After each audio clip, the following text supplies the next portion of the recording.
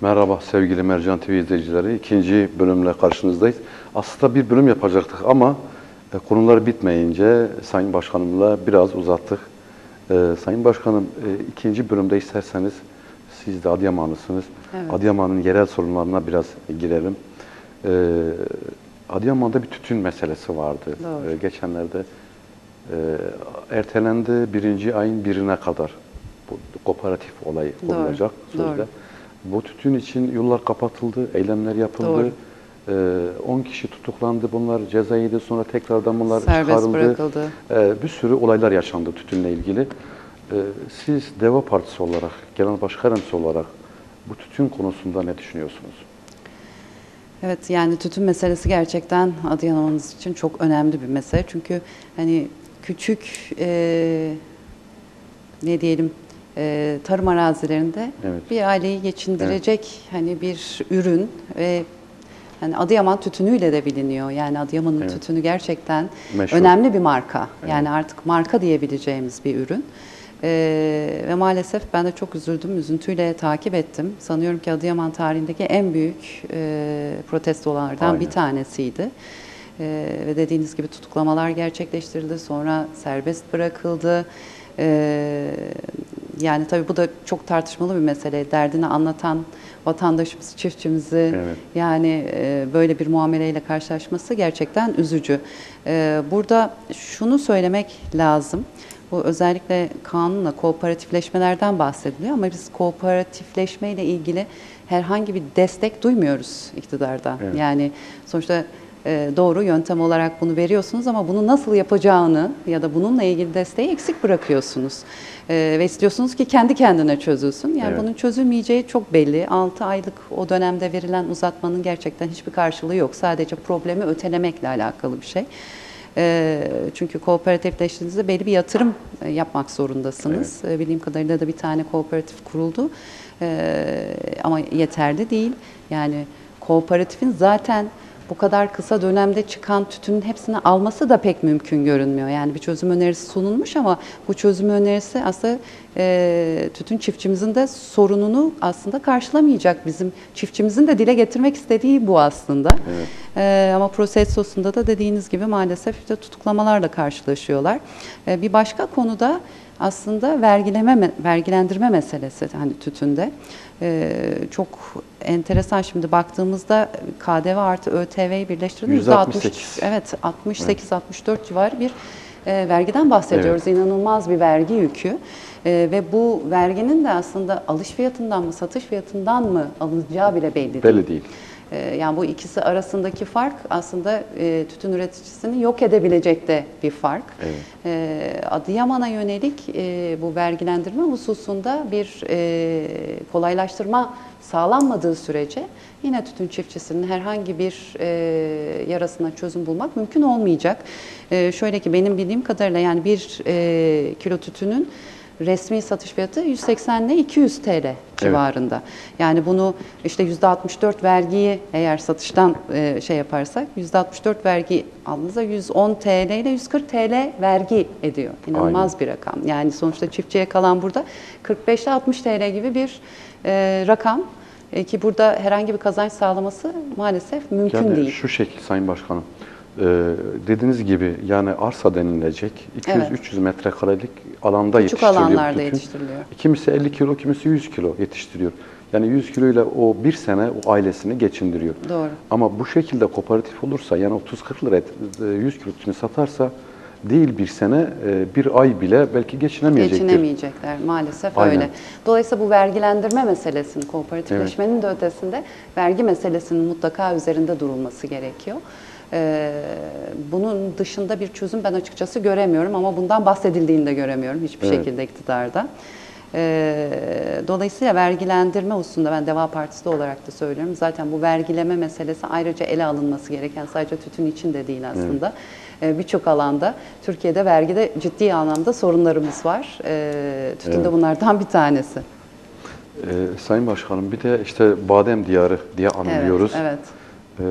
Ee, yani e, e, badem yetiştiren e, çiftçilerimizin de belli problemleri ve sıkıntıları Doğru. şu an var. E, bu gelip gezdiniz Adıyaman'ı, belki çiftçilerle konuştunuz. Konuştum evet bir badem e, bahçesi ziyaretinde de Evet. bulundum. E, açıkçası ben memleketimin badem hususunda da bir marka olarak Aynen, öne çıkmasından çok gururlandım. E, büyük şehirleri de ziyaret ettiğimde Adıyaman bademi olarak satışını görmek e, Evet. gerçekten çok gurur verici oldu.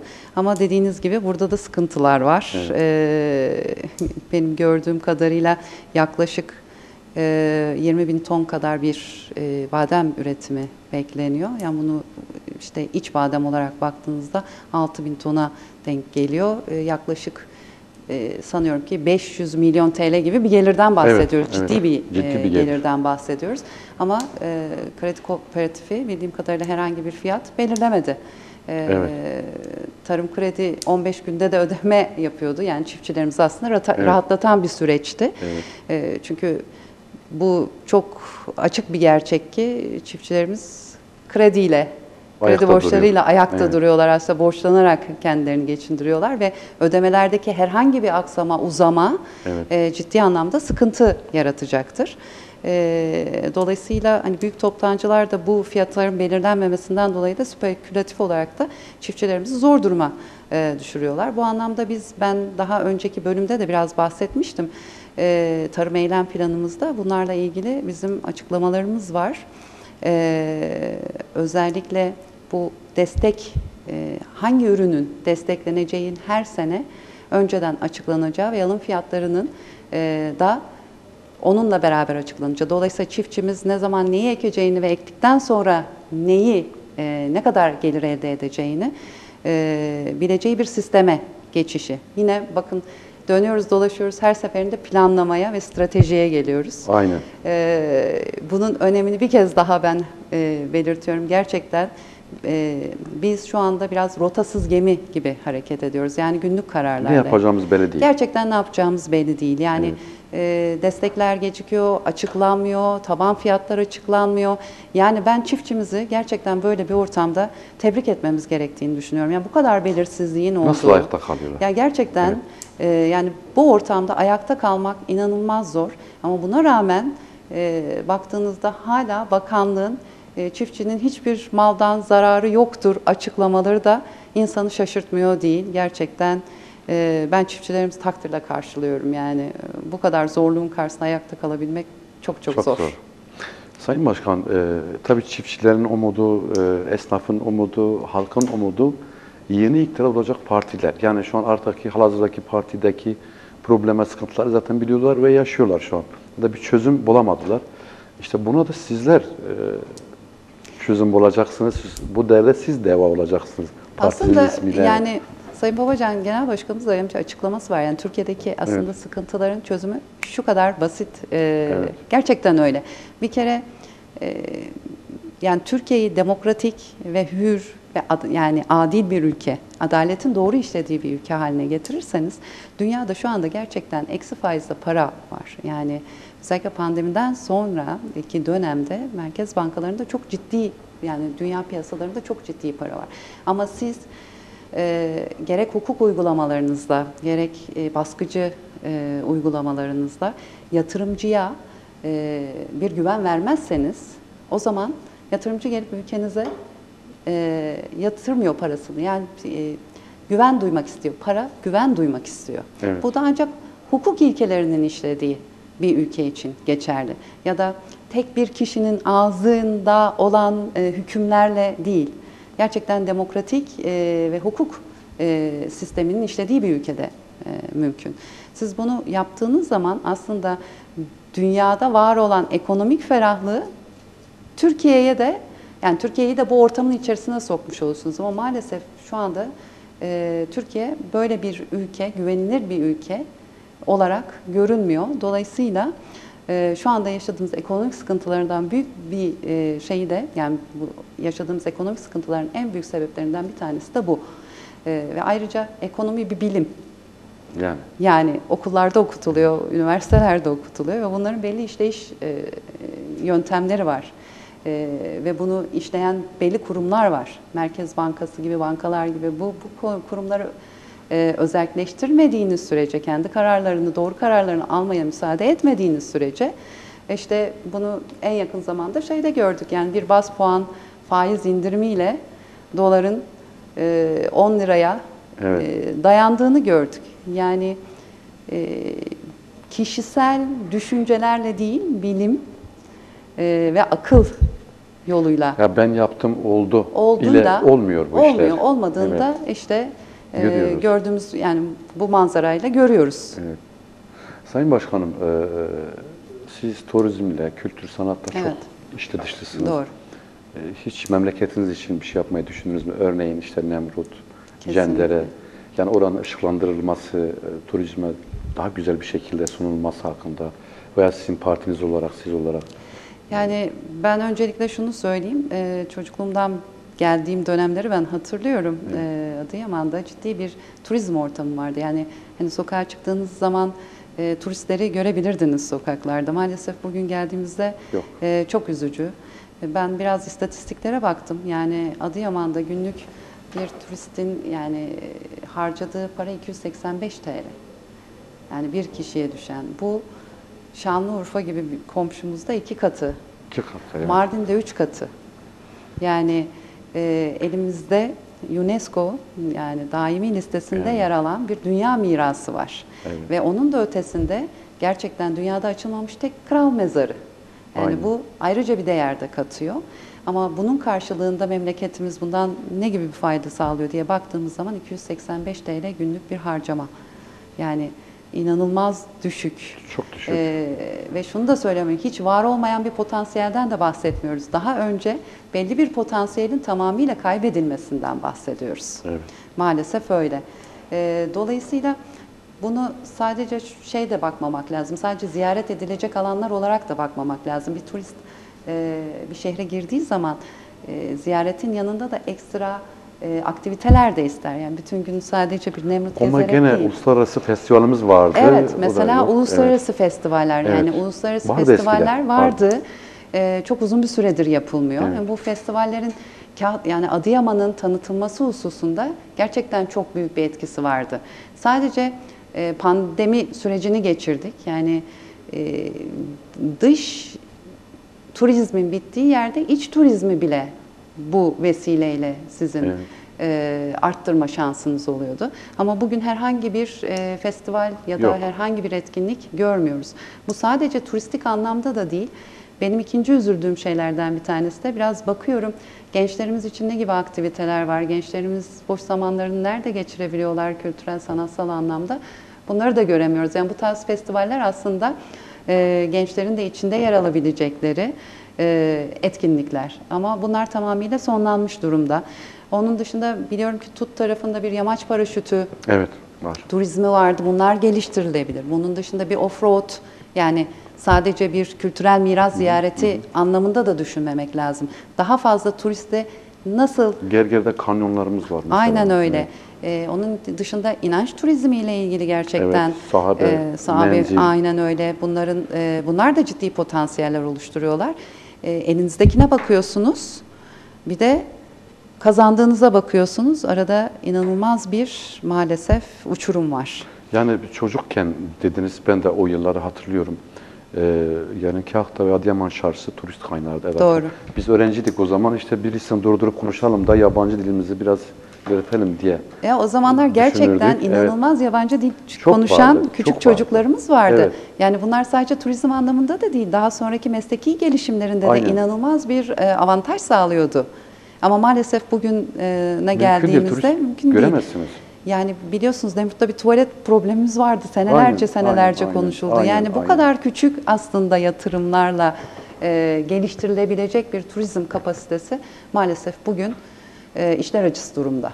Yani bir e, turizm bu kadar da ilkel şartlarda işte bir tuvaletin olmaması, bir yolun daha daha ilkel olması, e, bazı araçlar çıkamıyor, bazı araçlar e, insanlar araçtan indikten sonra belli bir mesafe yürümesi lazım, yürüyemiyorlar. Yani bir ara teleferik konusu açıldı, yapılmadı. E, işte ondan sonra ışıklandırılması falan düşünüldü, o da evet, o da yapılmadı. olmadı. O şekilde olduğu halde kaldı. Şu an bir karakoş tümülüsü var e, Doğru. biliyorsunuz. O da şu an açılıyor. Bilginiz olsun o Evet, konuda. evet. Devlet açıyor ama niye açıyor onu da bilmiyoruz. Yani aslında e, İnşallah hazine aramıyoruzdur. Yani tabii bunlar da çok fazla konuşulan e, evet. meseleler. E, tabii işin aslını bilmek mümkün değil. Evet. E, ama çok fazla spekülasyon olan konular. Evet. Yani bu kadar da konuşuluyorsa aslında arkasında böyle bir şey var mıdır yok Vardır mudur da düşünmek Yani. gerekiyor. E, bunun ötesinde sadece Karakuş'ta değil aslında Adıyaman'ın el, elinizi neresine atsanız ciddi anlamda e, bir tarihi bir zenginlikle karşılaşmak mümkün. E, umarım dediğiniz gibi değildir. Umarım turizme Umarım. kazandırmak amaçlıdır. umarım değildir. Evet. Şimdi e, Sayın Başkanım, e, ileriki yıllarda siz kendinizi nereden görüyorsunuz? Yani vekil olarak mı, bakan olarak mı, bir partinin e, başında mı görüyorsunuz? Hedefiniz nedir? Valla burada böyle bir hedef belirlemek si- siyasette pek mümkün değil. Ben siyasetçinin kızı olarak bunu Evet.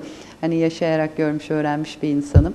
Ee, burada daha aslında samimi duygularla şunu yapmak gerekiyor. Yani benim siyasete giriş amaçlarımdan bir tanesi de bu gerçekten aslında ülkenin içerisinde olmuş olduğu durum.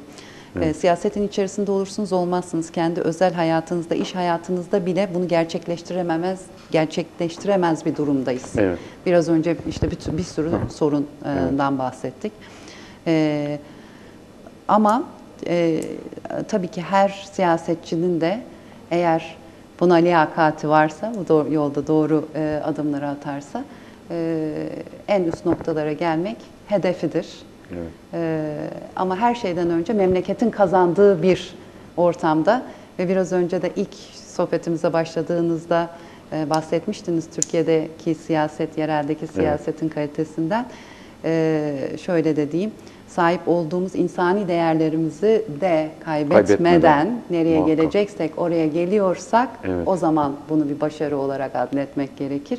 Benim de amacım her ne olacaksa sonucu her şeyden önce kişisel olarak itibarımızı, güvenilirliğimizi e, kaybetmeden Aynen bunu öyle. gerçekleştirebilmek. Şimdi şunu diyoruz Sayın Başkanım, e, makamlar, koltuklar gelip geçici. Doğru. Yani e, babanızdan örnek vereceğim yine. Türkiye'nin ikinci adamı olmuş bir Doğru. şahıs. E, Adıyaman için bir gururdur o. Hani bazı insanlar var işte e, takdir eder etmez ama ben takdir ederim. O makama gelmek her baba yiğidin harcı değildir. Türkiye'nin ikinci adamı olabilmek. Doğru. Şimdi niyetinde bırakıp gidiyorsun. yani önemli olan arkanda hoş bir seda bırakmak. Kesinlikle öyle. Bir itibar bırakmak, Kesinlikle bir güven öyle. bırakmak. Şu an kendisinden bahsederken bile bu şekilde bahsediyoruz. Kesinlikle. Ama bazı siyasetçilerimiz var. Koltuğu bıraktığı an etrafı boşalıyor. Ee, geçen bir e, taziye vardı, e, cenaze vardı. Orada ben bir vekilimizi izledim. Geçmiş e, eski vekillerimizden. E, dört kişiyle taziye gelebildi. Eskiden 200 kişiyle geliyordu. Demek ki dedim siyaset sana itibar katmıyormuş. Öyle yani kişiler e, itibarlarını ve kimliklerini koltuklardan almamalılar. Yani Koltuk gitti, dakika kimlik de gidiyor. Aynen öyle. Yani o yüzden her şeyden önce kişiliğinize, kendinize yaptığınız yatırım önemli, e, inancınız önemli. Sizin de söylediğiniz gibi bir gün her şey e, her şeyin bir sonu var. Siyasetin Evet. de sonu Muhakkak. var. Ve her zaman o son geldiği zaman nasıl hatırlanacaksınız ve anılacaksınızı e, düşünerek hareket etmek gerekiyor. Bu benim şiarım. Ailemde de gördüğüm buydu. Evet. E, inşallah bana da nasip olur. Öyle söyleyeyim. Siz e, başlarsanız siyasetin yani aday olmaya bir şeye baba ocağından mı yoksa babanın iki memleket, ikinci memleketi olan Mersin'den mi başlarsınız? Şimdi siyasette böyle bir seçim yapma şansınız pek yok. Ee, Evet. Onu söyleyeyim. Görev nereye verilirse, nere- nerede çalışmanız istenirse e, orada çalışırsınız. Ben e, ister orada ister burada olsun hiç fark etmez ama Adıyaman benim baba ocağım. Aynen. Ee, buradan da olsam olmasam da her zaman elimden gelen gelişmesi için, işte hemşerilerim için yapabileceğim bir şey varsa nerede olursa olsun e, bunu öncelik haline getireceğim kesin onu ifade edeyim. Aynen. Şimdi bu soruyu bu yüzden sordum. Çok merak eden seyircilerimiz var şu an, siyasiler var. İşte Evet. acaba Adıyaman'a gelecek mi? Ad- Adıyaman'a gelirse bana yer kalır mı? Gibi e, şeylerden dolayı ben bunu size sordum. Ben bunu güzel bir rekabet olarak ar- algılarım. Aynen, aynen, yani aynen, aynen. e, bu siyasiler arasındaki rekabeti arttırır. E, bu rekabetin artması da memleketimize iyi olarak yansır. Öyle söyleyeyim. Aynen. Sayın Başkanım bir e, İstanbul Sözleşmesi Doğru. fesi ile Doğru, ilgili ne maalesef. düşünüyorsunuz? Bu konuyla ilgili benim de bir kızım var. Evet. Ellerinizden öpsün. Özellikle Allah o da mesaj göndermiş. Başkanıma sorar mısın diyor. Zelal Melisa Aslan benim Evet. kızım.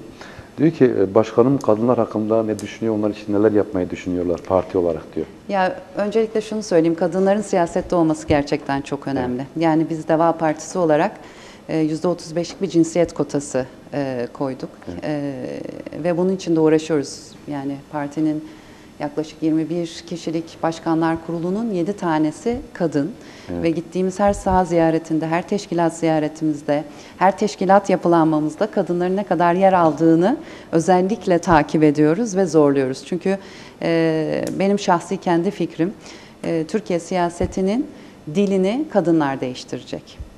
E, çünkü çok nobran, çok sert bir Evet. siyaset dilimiz var.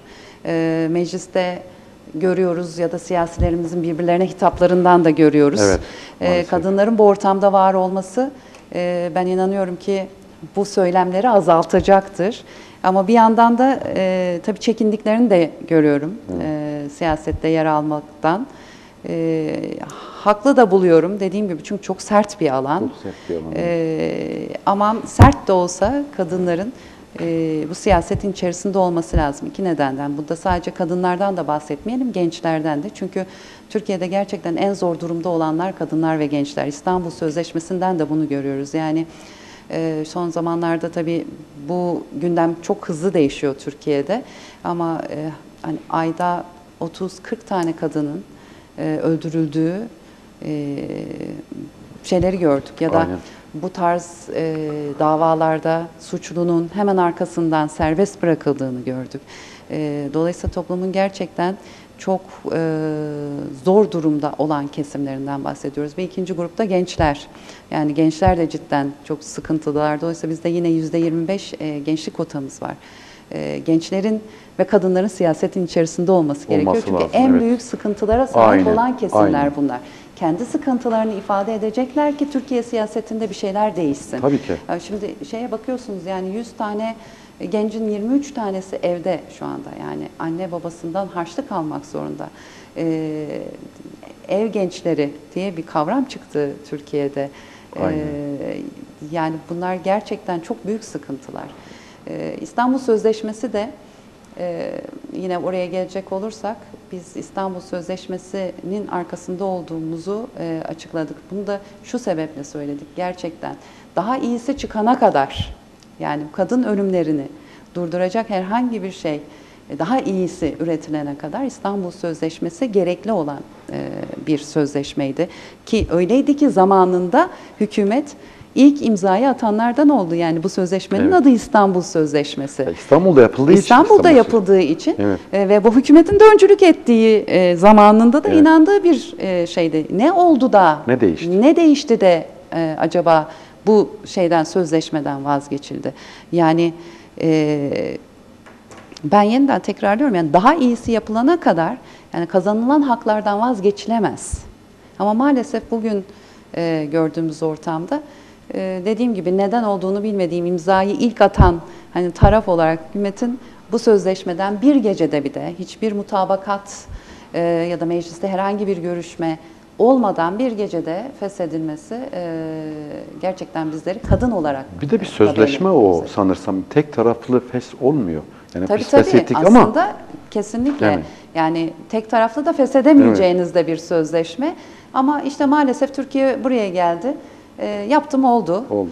E, Bir gün yattım, ertesi gün böyle karar verdim, böyle gerçekleştirdim. Sonuçlarına bile bakmadan ya da daha iyi bir şey sunmadan, işin de kötüsü. Yani bir şeyi değiştirebilirsiniz, bunda da sorun yok. Ama daha iyisini sunarsınız, eskisini Yani. çekersiniz.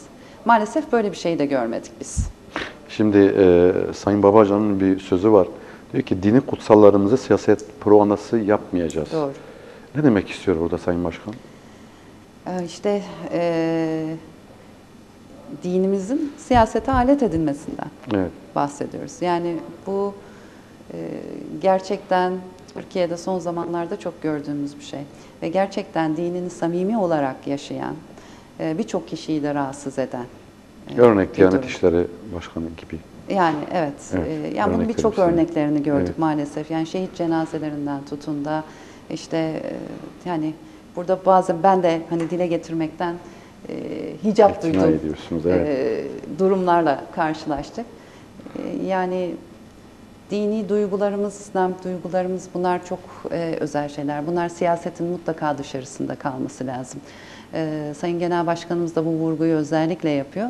E, ve hepimiz de yani Deva Partisi'nde bu, bu hususta da herhangi bir şey duyma şansımız yoktur. Çünkü bu aslında dinimize de bir e, şey değil, faydadan çok gerçekten e, zarar veriyor. İnsanları uzaklaştırıyor, yanlış fikirlere sahip olmasına neden oluyor. E, Dolayısıyla din ve siyasetin mutlaka birbirinden ayrılması ve belli bir mesafe içerisinde bulunması gerekiyor. Yani şu, şunu diyeyim, e, dinin siyasete alet edilmesi olayı şu, işte din diyor ki çokça cami yapmak, Evet. e, hiç ömrü hayatında namaz kılmayan bir insan siyaset uğruna camiye gidip namaz kılıyor. Maalesef bunları Ee, gördük evet. Yani bunu sadece sadece ne yapıyor? Dini siyasete alet ediyor ve buradan rant devşiriyor. Rant ne? Oy devşiriyor kendine.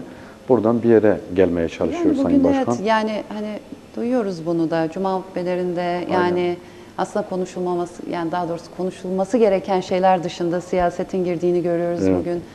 Ee, Diyanet Başkanı'nın açıklamalarının kendi görev tanımının çok dışında siyasetin içerisine giren e, konuşmalar e, yaptığını görüyoruz. E, ya işte dediğim gibi bu sınırları korumadığımız sürece biz dinimize yarardan çok maalesef zarar veriyoruz.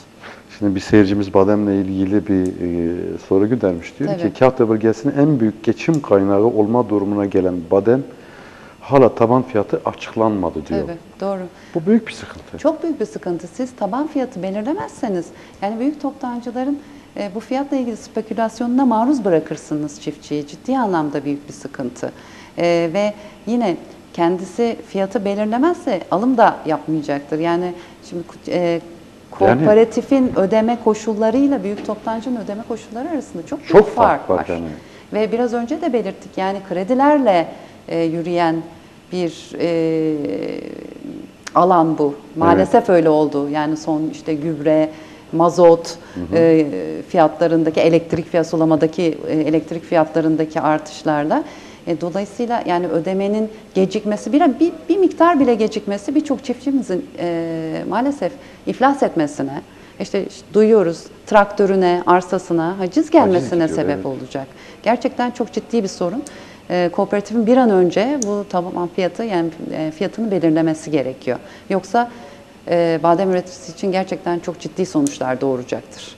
Yani şu e, bir çiftçinin, bir badem yetiştiricisinin traktörüne, tarlasına el koymak kadar aciz bir durum yoktur Yani aslında. bu bitirmek demektir, yani sen öldürmek çiftçinin demektir. elini kolunu kesiyorsun, Tabii. git diyorsun, yetiştir diyorsun. Kesinlikle E, böyle bir çiftçi şey. bunu nasıl yapsın? Bir Kesinlikle. de daha hala ta- taban fiyatını açıklamamışsan nereye gidecek bu iş? Yani bu Yani bir çiftçinin an önce olacak? bu fiyatın açıklanması Bir şart. an önce, Bir bir an an önce önce gerçekten açıklanması, açıklanması şart. şart. Neden açıklanmadı? Tabii bununla da ilgili bildiğim kadarıyla herhangi bir açıklama yok kooperatiften de. Yok bir açıklama da Yani yok. bir gecikmede olacaksa en azından bir açıklama ne zaman yapılması açıklama gerekir. yapacağız? Yani Aynen. şu fiyat açıklamıyorsunuz ama bari ne zaman açıklama yapacağınızı Aynen. da bir tarih verin En bize. azından bir hani muhatap kabul ederek Evet, evet. e, O da- o çiftçiyi da yok. bir O- o e, da en yok. azından bir açıklamada bulunmalı, bulunulması gerekiyor. Aynen. Şimdi e, Sayın Babacan'ın vaatleri arasında şunlar da var. E, yürütmenin yargı etkisi ortadan kaldıracağız diyor. Doğru. E, Merkez Bankası'nı bağımsız hale getireceğiz Doğru. diyor. Şu an e, bunlar mevcut değil mi Sayın Başkan? Hayır değil. E, Yani bunu özellikle Merkez Bankası'nda son zamanlardaki e, değişimlerde anlayabiliyoruz. Yani Evet. işte ben faizi indir dedim indirmiyor o yüzden işte görevden aldım gibi açıklamalarla Merkez Bank- Bankası son herhalde kısa süre içerisinde 2-3 başkan değişikliği oldu. Aynen öyle. Yani artık isimleri bile takip etmekte zorlanıyoruz. Yani Gece son- saat 1'de Twitter'da öğreniyoruz Aynen, hangi bakanın 1'de, 2'de değiştiğini. kesinlikle. Evet, evet. Ee, yani dolayısıyla bağımsız olduğunu söylemek mümkün değil Mümkün yani. değil, evet. Bırakın bağımsız olduğunu gerçekten artık takip etmekte zorlanıyoruz. Ee, ve tabii hukuk alanında da ben daha önce de söyledim size yani bir buçuk milyon insanın terör suçuyla yargılandığı bir ülkede yani yargının da bağımsızlığını tartışmak e, yani gerekir. Onun dışında biliyorsunuz son zamanlarda bazı çok ciddi e, iddialar ortaya atıldı. Evet. E, bunların hiçbirisinde biz herhangi bir savcının e, bir suç duyurusunda ya da bir dava açtığını da görmedik. Şimdi bahse konu olan şeyler şunlar. Ee, Sedat Peker'in açıklamaları, e, Sayın Bakanımız Süleyman Soylu hakkında olsun. Doğru. E, gazeteci vardı bir tane e, Veys Ateş hakkında. Doğru. Ve bir sürü insan hakkında ortaya attığı iddialar. Yani yerinde iddialar. E, dediğiniz gibi şu ana kadar herhangi bir savcının şey duymadık. harekete geçtiğini görmedik. Hiç duymadık. Ama en ufak bir şeyde sağ olsunlar Cumhuriyet Başsavcılarımız direkt harekete geçiyorlar. Tabii. Bizler için geçiyorlar sağ olsunlar Ya ama sadece e, bu olaylar da değil. Zamanda işte Sanayi Bakanı'nın kendi firmasına verdiği şeyleri gördük, e, evet, ihaleleri evet, gördük. Yani hiçbir konuda bir de fahiş fiyata vermişti. e, inanılmaz yani hani bunlar ortaya da çıktı bir de yani kanıtlarıyla ama buna rağmen herhangi bir dava açıldığını görmüyoruz. Dolayısıyla e, burada da herhangi bir yargı bağımsızlığından bahsetmek yani mümkün değil. Şimdi e, acaba yani anlatıldığı gibi e, olaylarda adalet öldü mü Türkiye'de? Şu ülkenin birisinde e, herhalde Hristiyan bir ülkedir. Tam olarak çan çalındığına göre diyor ki işte çan bir kere çalınırsa diyor halktan birisi ölmüştür diyor. İki defa çalınırsa diyor elit birisi ölmüştür diyor. Üçüncü seferde kral ölmüştür diyor. E, bir gün çan dört sefer çalınıyor. Herkes papaza koşuyor. Diyor ki ya papaz efendi diyor. Kraldan daha büyük ne olabilir ki? Adalet öldü diyor bu Adalet ülkede diyor. öldü, yani umarım öyle değildir. Çünkü e, adalet öldü mü? Hasta diyelim, öldü Hasta diyelim. demeyelim. Evet. Yani çünkü Türkiye gerçekten güçlü bir ülke. Evet. Yani her şeye rağmen güçlü bir ülke. Bütün dünyayı kasıp kavuran e, bir pandemiden, bütün bu konuştuğumuz olumsuzluklara rağmen Evet. hala ayakta. E, ölü değil ama hasta ve bir an önce de iyileştirilmesi lazım. Bir doktora ihtiyacı ve bir devaya ihtiyacı var. Şimdi Onu siz söyleyelim. e, gibi partiniz ismi de DEVA. E, Türkiye DEVA olacak mısınız veya olabilecek misiniz? Biz bu iddiayla yola çıktık. Bunu çok net söylüyorum. Ee, Türkiye'nin şu anda içinde bulunmuş olduğu her türlü sıkıntıya e, Deva Partisi olarak deva olacağımızı e, biraz önce sadece bunu laf olsun diye de söylemiyorum. Gerçekten Evet. eylem planlarımızı da açıklıyorum. Evet. İnşallah vatandaşlarımız bu eylem planlarımızı e, inceleme fırsatı bulurlarsa e, oralarda gerçekten Türkiye'nin devasını görecekler. Aynen. Türkiye'nin sorunlarının devasını görecekler. Sayın Başkanım, e, Gölbaşı Besni kongreleriniz var herhalde. O Evet. Buradasınız. Bugün katıldınız kongreye. Evet. Nasıl geçti kongreniz? Kalabalık falan Ee, nasıldı? aslında bugün Gölbaşı'ya katılamadım ama yarın e, Besni'ye katılacağım ancak e, yetişebildim. Ama çok ciddi il başkanımızla görüşmelerimden de şey yaptım. Çok ciddi bir e, katılım gerçekleşmiş. E, muhalefet partilerinin e, temsilcilerinden STK temsilcilerine, e, eski başkanlarımızdan Evet. e, basın mensuplarına kadar gerçekten ciddi bir ilgiyle, ilgiyle karşılaştı. Yarın da Adıyaman'daki son kongremiz, Besni kongremiz gerçekleşecek. Ondan sonra Adıyaman'ın bütün kongrelerini, tüm teşkilatlanmasını da tamamlamış olacağız. E, ben şunu söylüyorum, Deva Partisi 8 ay gibi çok kısa bir sürede e, teşkilatlanmasını hızlı bir şekilde tamamladı. 81 ilde 81 il başkanını atadı. Bu da aslında Deva Partisi'nden beklentiyi, Evet. beklentinin ne kadar çok olduğunu e, bize de kanıtladı. Biz bunu e, kongrelerimizde de gerçekten karşılık olarak da görüyoruz. Bütün kongrelerimizi çok büyük coşkuyla e, kutluyoruz, gerçekleştiriyoruz. Yarın da bütün vatandaşlarımızı buradan da, hemşerilerimizi buradan da davet etmiş olalım.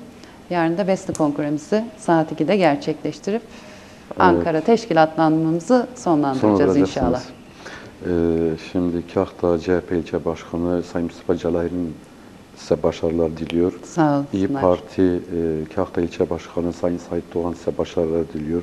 Sağ olsunlar. Marangozlar Üniversitesi Başkanı Murat Aktaş size başarılar diliyor gelen mesajlarda. Bunları size Herkes. ileteyim. Daha da yüzlerce mesaj var ama hepsini okuyamayacağız. Böyle baştakileri okudum size. Herkese hürmetle selamlıyorum ben de. Evet. Bütün Ee, selam Sayın Başkanım, e, son olarak değinmek istediğiniz, bizim size sormadığımız, sorma unuttuğumuz bir şey var mı? Açıkçası bayağı geniş bir hani e, program yaptık. Evet. Yani benim söyleyeceğim son bir şey şu olabilir. Ben memleketim bir miras olarak da görüyorum. Evet. Yani gerçekten. Babadan kalan bir miras memleket. Babadan evet kalan bir miras. Ee, Ben hak ettiği yerde olmasını gerçekten çok arzu ediyorum. Sadece Türkiye'nin potansiyeli değil, Adıyaman'ın da gerçekten çok ciddi bir potansiyeli var. E, Son zamanlarda e, Adıyaman'ın sosyoekonomik gelişmişlik düzeyindeki düşüşü, biraz önce turizmini konuştuk. Evet. Turizmde geri gidişini, tarımda içinde olmuş olduğu bu sıkıntıları e, bir an önce e, çözmesini ve hak ettiği yere e, gelmesini arzu ediyorum. Bu hususta da bireysel olarak da üzerime düşen e, her türlü şeyi de yapmaktan büyük memnuniyet duyacağımı söylemek istiyorum. Yeniden beni davet ettiğiniz için de ayrıca teşekkür Biz ediyorum. teşekkür ederiz Sayın Başkanım. Ee, ama sizden şu sözü istiyoruz. Bir gün etkili ve yetkili bir makama gelirseniz şayet sizden Adıyaman'a sahiplik etme sözünü istiyoruz ama. Söz bir yere gelsem de gelmesem de elimde Evet. ne varsa ne yoksa biraz önce de söyledim. Gerçekten yani memleketim Evet. bana baba mirasıdır da. Evet. Onun verdiği önemi biliyorum. Ee, neler yapmaya çalıştığını da biliyorum. Aynı misyonu benim de üstleneceğimin sözünü e, etkili bir yere gelsem de Evet. kendimce e, gelmediğim süreçte de elimde olan bütün e, şeylerle gerçekleştirmeye çalışacağımı iletmiş olayım. Sayın Başkan sizin samimiyetinize inanıyoruz bu Sağ olun. konuda. Ee, biz de sizde sözümüzü almış olduk. İleriki Sağ olun. yıllarda eğer e, iktidar olursanız biz de sizden diyeceğiz ki evet siz bize söz vermiştiniz Sayın Başkanım. Teşekkür ediyorum Ben tekrar teşekkür ediyorum. katıldığınız için. Çok sağ olun Ee, davetiniz sevgili için. izleyiciler, e, Güncel Özel ile karşınızdaydık bugün. Konuğumuz e, Deva Partisi Genel Başkan Yardımcısı Sayın Münevver Helin Fıratlı'ydı. Kendisine tekrar teşekkür ediyoruz geldikleri için. Teşekkürler. Sağ olun. Sağ olun. Ee, sevgili izleyiciler, e, son olarak bir dakikanızı almam lazım. E, geçen hafta yaptığım bir programda Mercan TV'de bir resmi yorumlamıştım.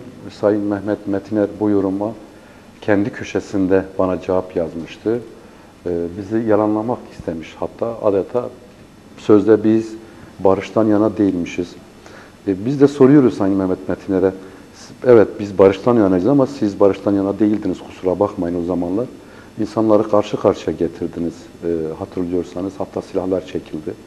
Ve o insanlar sakat kalsaydı demiştik size. Sizler demiş ki biz unuttuk ama biz şunu unutmuyoruz Sayın Mehmet Metiner. Orada şu an kendisi birbirleriyle konuşmayan yüzlerce insan var Kahtabe sizin için. Yedi kişi hala mahkemelik sizin için. Bunu da siz de biliyorsunuz. Adli süreç olduğu için o konuya girmiyorum. İkinci konu 61 kişi işinde oldu sizin yüzünüzden. O insanlar hala aç ve susuz kendi evinde e, sizi bekliyor ama siz direkt geldiniz ve gittiniz resim karesi çektiniz. Bence hiç etik değildi. Keşke şunu diyorsunuz, biz muhalif belediyelere ön ayak olmamız lazım iktidar partisi olarak diyorsanız. Keşke Ankara, İstanbul ve İzmir belediyesine de bunu söyleyebilseniz. O köşe yazınızda. İnşallah söylersiniz. Hepinize hayırlı geceler olsun. Hoşça kalın.